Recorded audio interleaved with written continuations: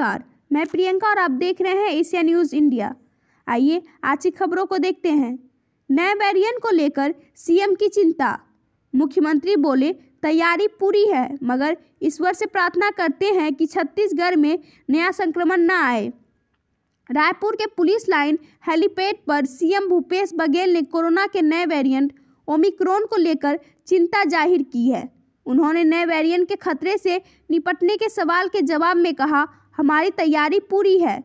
मगर ईश्वर से प्रार्थना करते हैं कि छत्तीसगढ़ में ये नया वेरिएंट आए ही ना। अगर आए तो हम सब उसके लिए तैयार हैं। उन्होंने ये बातें कोमा खान के दौरे पर रवाना होने से पहले कही। दरअसल, सीएम बघेल वीर नारायण सिंह की पुण्यतिथि के लिए कोमा खान में आयोजित कार्यक्रम में शामिल होने के लिए गए हैं।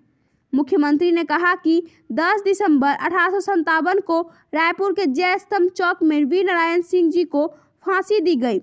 आज दिन जन्मभूमि और कर्मभूमि की इस माटी को नमन करने का है। इस धरती में हमारा जन्म हुआ, हम गर्व महसूस करते हैं।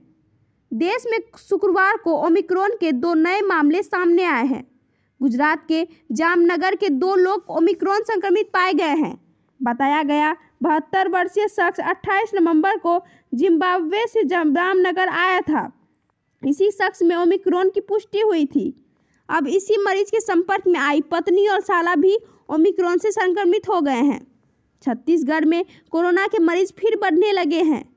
गुरुवार को प्रदेश भर में 40 नए लोगों में संक्रमण का पता चला है। किसी मरीज़ की मौत की रिपोर्ट नहीं है। लेकिन प्रदेश में एक्टिव कोरोना मरीजों की संख्या बढ़कर तीन सौ बावन हो गई है। इस समय प्रदेश का पॉजिटिविटी रेट ज़ीरो दशमलव एक पाँच प्रतिशत है। सबसे अधिक नौ नौ मरीज़ रायगढ़ और कोरबा जिलों में मिले हैं।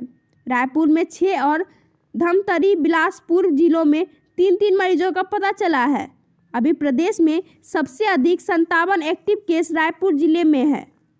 तो आज के लिए इतना ही। आगे तमाम खबरों के लिए जुड़े रहे हमारे साथ। धन्यवाद।